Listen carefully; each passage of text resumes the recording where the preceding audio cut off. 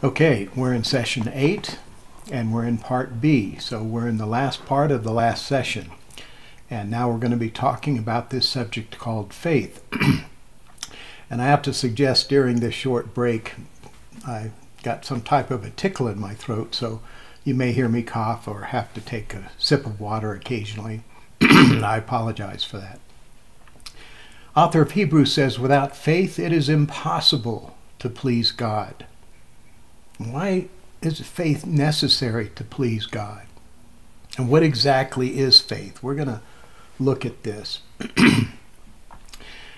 One of the things I did in uh, preparing uh, materials for writing the book, but also uh, in my own spiritual journey when I wanted to uh, find out more about uh, the Christian uh, faith, um, beliefs, foundation, I went through the gospel record and I decided to define faith by looking at every incident where Jesus uses that word faith.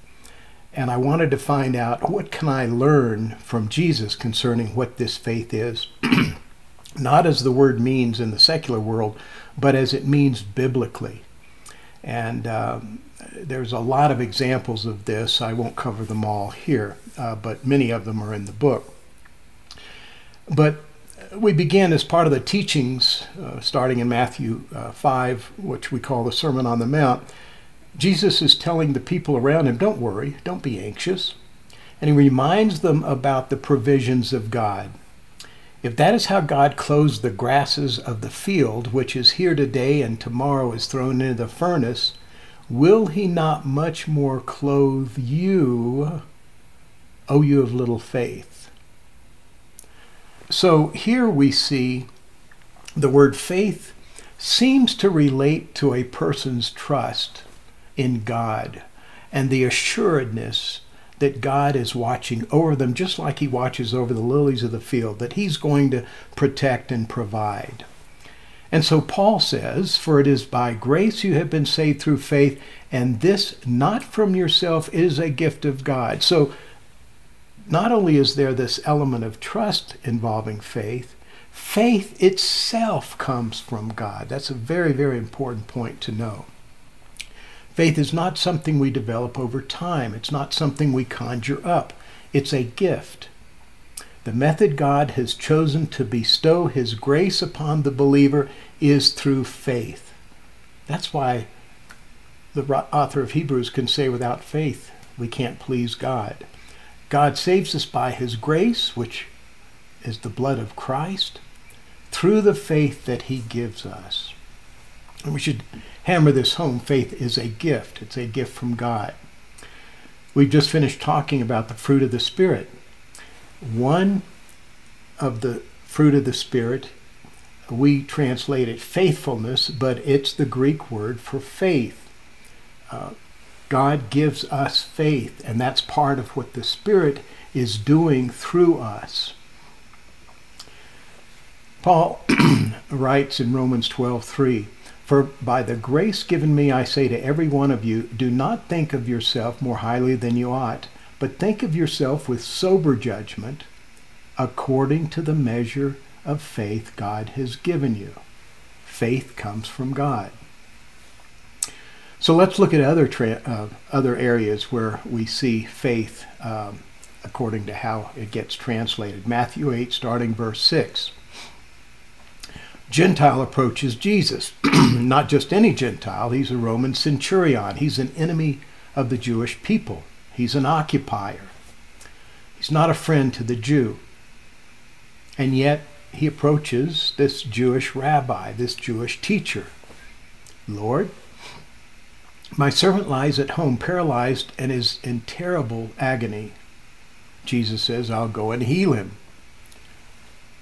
The centurion answered, Lord, I'm not worthy to have you come under my roof. Now, he may have understood back then Jews did not enter the homes of Gentiles, that would make them unclean.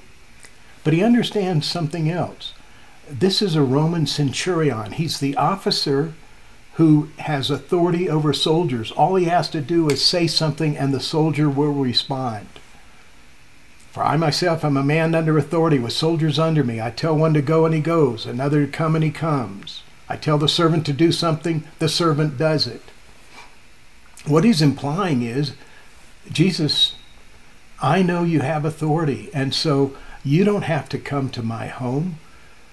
All you have to do is speak the word, and my servant will be healed. And Jesus says, Truly I tell you, I have not found anyone in Israel with such great faith. So Jesus is telling those around him, mainly Jews, God's chosen people, that this centurion, this Roman, this Gentile, he has great faith. what has made this centurion so different? Note the complete confidence he has in Jesus. Jesus doesn't have to leave Capernaum. He doesn't have to visit the servant. He doesn't have to pray over the servant, touch the servant. All he has to do is speak the word, and the servant will be healed. Centurion goes to Jesus. He puts his faith and trust in Jesus. He knows Jesus can produce the desired healing, and Jesus is defining that as commendable faith. So we see several elements here. The author of Hebrews helps us answer the question, what is faith? He defines faith. Now, faith is the assurance of what we hope for and the certainty of what we do not see. That centurion had that type of faith. He was assured that Jesus could heal that sick servant. This was something he hoped for, and he was certain Jesus could do it.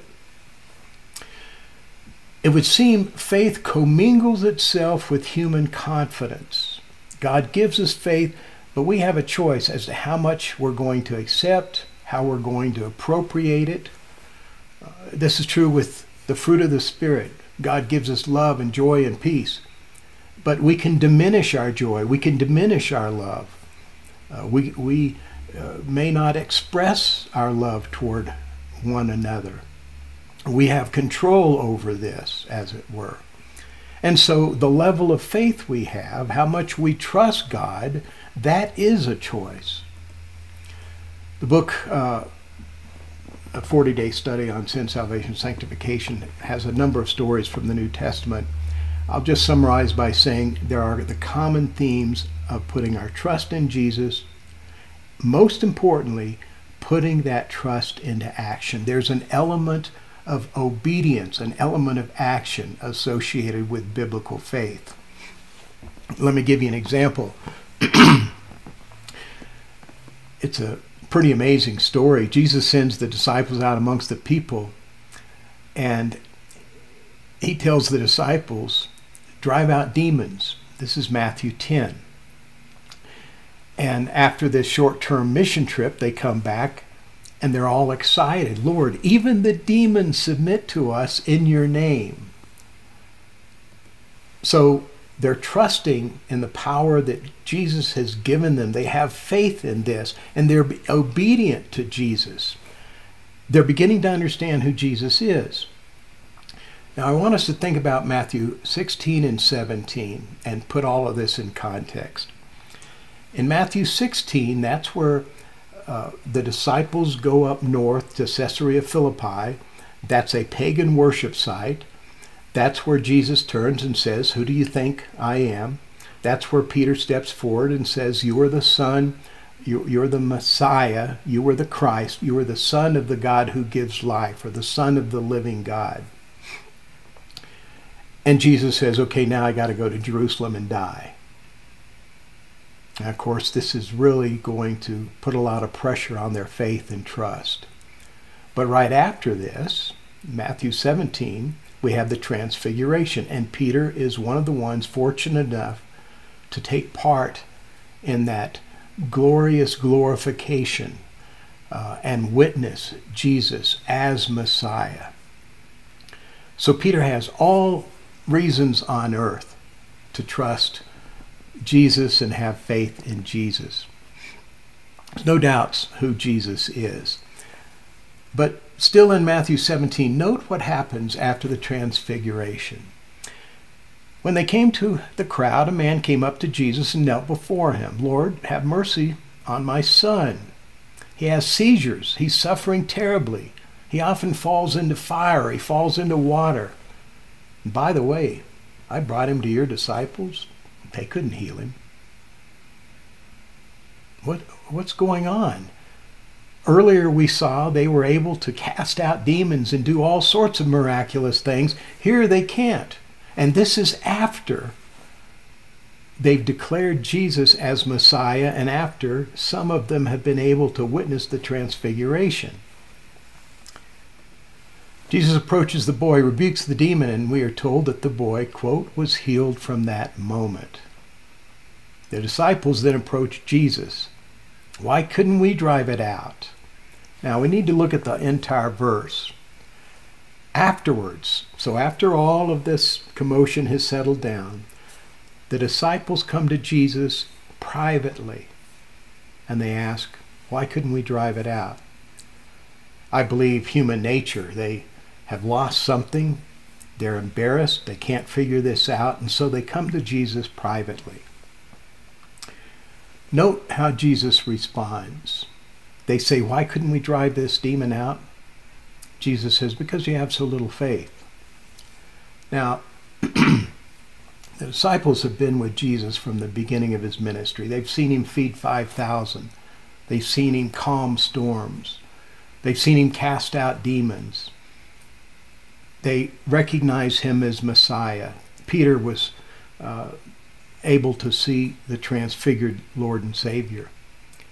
But here, after all of this, they're powerless because they have such little faith. I want to interject something here that I didn't make slides for, but I think it's important. Keep reading in Matthew 17 because there's a very interesting story. Uh, some tax collectors come up, uh, they're looking for tax money, and Peter goes to Jesus and says, Hey, we need to have money to pay these taxes.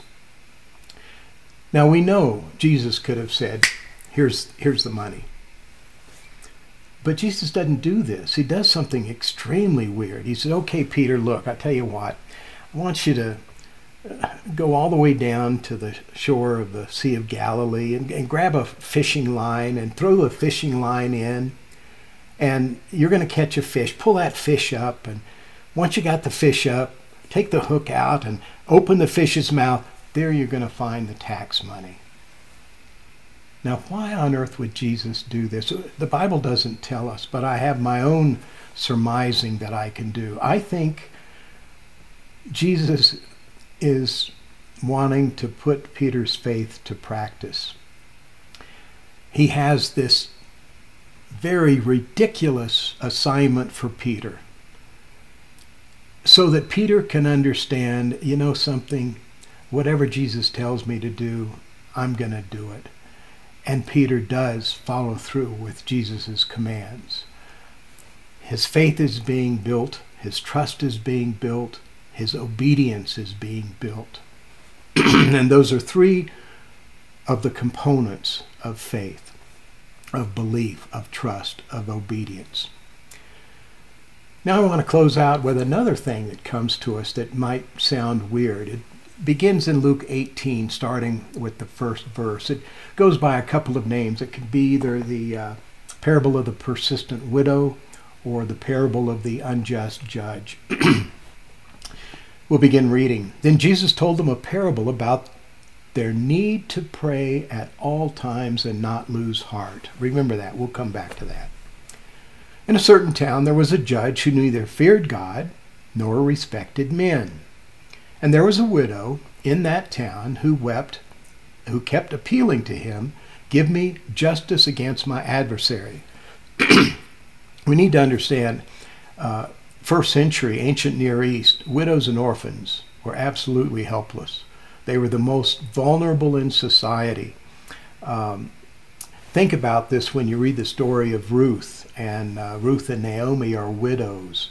The importance of Naomi to return to her family, um, and how wonderful Boaz is to care for this Moabite woman, Ruth. Um, uh, these these two were were widows, uh, totally helpless, and that's the situation here. Here's this uh, widow coming to this judge. He's not a righteous judge; he's an unrighteous judge, and she's wanting justice, and she's persistent. The parable goes on for a while. the judge refused, but later he said to himself, Though I neither fear God nor respect men, yet because this widow keeps pestering me, I will give her justice. Then she will stop. We translate it wearing me out. The Greek is more like uh, she'll stop breaking my arm. She'll stop beating up on me uh, with her perpetual requests. And the Lord said, Listen to the words of the unjust judge. Will not God bring about justice for his elect who cry out, cry out to him day and night? Will he continue to defer their help? I tell you, he will promptly carry out justice on their behalf. Nevertheless, this is the relationship with our subject matter. When I return, when the Son of Man comes, will I find faith on earth?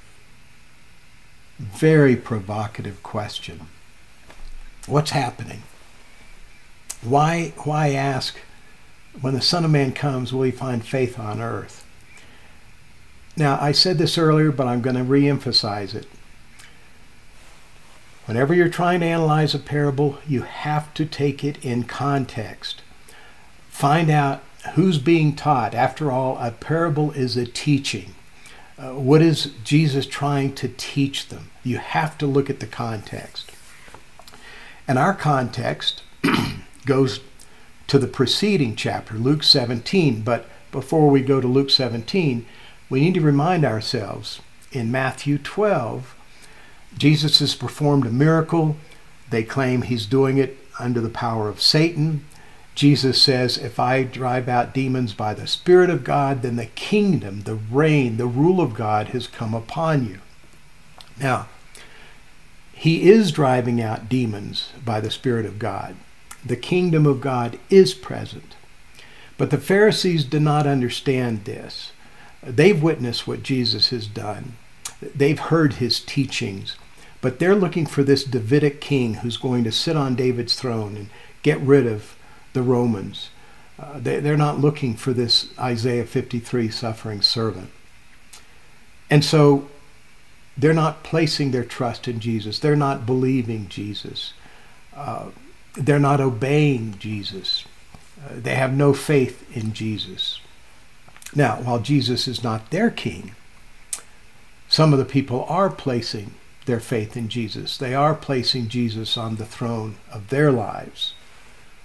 They're giving their allegiance to Jesus. They're obeying Jesus. They're putting their trust in Jesus the rule of God, the reign of God, is being established on earth as it is in heaven. The kingdom of God is in their midst. The Pharisees lack this faith. All the terms we use in defining faith are missing. By the way, I asked the question, where's America in this equation? I'll let you think about that later on. But back to the parable. Jesus will tell the Pharisees that to uh, what to expect when he returns. That's Luke 17, he talks about those who will not be people of faith. He compares it to the days of Noah. He says in Luke 17, 27, people were eating and drinking, marrying, and being given in marriage up to the day Noah entered the ark. Then the flood came and destroyed them all. He'll use this term, destroy them all, a second time. He'll talk about the days of Sodom and Gomorrah. It was the same in the days of Lot. People were eating and drinking, buying and selling, planning and building. In other words, normal activities. But on the day Lot left Sodom, fire and brimstone rained down from heaven and destroyed them all. When Jesus returns, things are going to appear normal. People are going to be eating and drinking and marrying, but God's judgment, God's condemnation, God's wrath will come. And so now we can put all of this and the concept of faith into context. We began Luke 18:1. Then Jesus told them a parable about their need to pray at all times and not lose heart. he's referring to the end times and all that's going to happen. The parable is about a persistent widow and an unjust judge. The people are going to face injustice. And just like the widow, they're going to be helpless and hopeless unless they have faith, of course. The judge in the parable ultimately gives in to their wish, wishes, and ultimately justice does occur, just like what's going to happen in the end times when the Son of Man comes. Jesus says, Will not God bring about justice for his elect, that's you and I, who cry out to him day and night? This is going back to the verse 1 their need to pray at all times and not lose heart. Will he continue to defer their help? I tell you, he will promptly carry out justice on their behalf. He's drawing a comparison. If an uncaring, overly bothered, uncompassionate, annoyed, ungodly judge eventually answers with justice, how much more will a loving and caring Holy Father give to us, his children? How much more will he do what is right for his children? And so Jesus is saying, Do you believe this? Do you place your trust in God? Will they be obedient to God even though there are perilous times.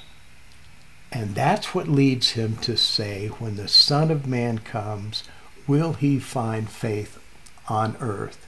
And of course, depending upon when he returns, you and I may be the ones that answer that question. Faith is a gift from God. It includes intellectual affirmation and belief, but there's more to it than this. James, the half brother of Jesus, says, You believe that God is one, good for you. Even the demons believe and shudder. Faith includes a component of belief, but that's not all that it includes. So the reverse can also be said belief requires faith. There's an action component of faith, just like the centurion. James writes, But someone will say, You have faith and I have deeds. Show me your faith without deeds, and I will show you my faith by my deeds. Now, here's where people get confused. We're not talking about salvation. That equation's already been solved for us.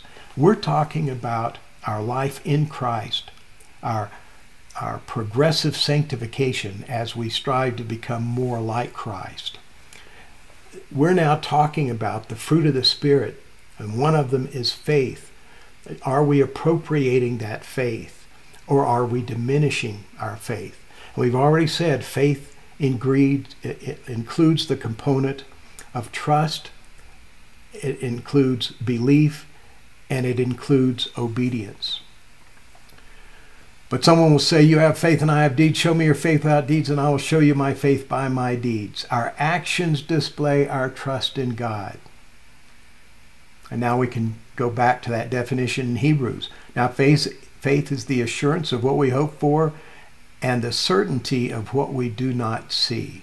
Our actions reveal whether or not we trust God, whether or not we truly believe God is faithful, He's able, that God is a God we can put our lives into, our trust into, our obedience toward. And so the author of Hebrews says, Let us fix our eyes upon Jesus, who is the author and perfecter of our faith. We place our trust in God.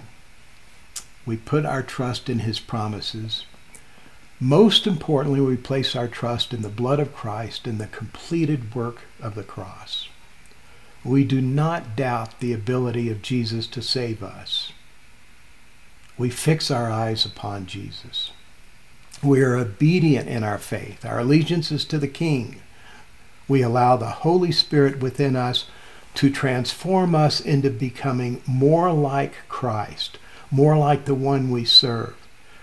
We become more like our Savior, but He's also our Lord. He is our King.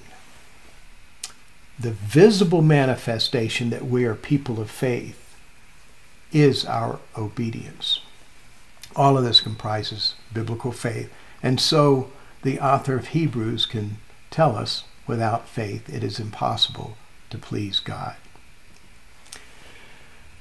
So again, we have belief, we have faith, we have trust, we have obedience. All of these things are part of what biblical faith means. Now, as we come to a close, I recognize most of you taking this course probably are part of God's elect. You've been born again. You are brothers and sisters in Christ. We've been adopted into his family. And I think it would be beneficial for us to share several truths that apply to us. I want to first focus on you and I. And I've told you how wonderful the book of Romans is, especially Romans when we get to chapter 8. But I went through Romans and I started looking at what are the promises that God has made to the believer. Let's, let's go through each one of these. We have been given Christ's righteousness. We talked about this. This is the imputation. We have been declared not guilty. This is that word justification. We've been redeemed. Romans 5:1 we have peace with God. We are saved from God's wrath. We have been reconciled to God. We are now able to live this new life. We are no longer enslaved to sin.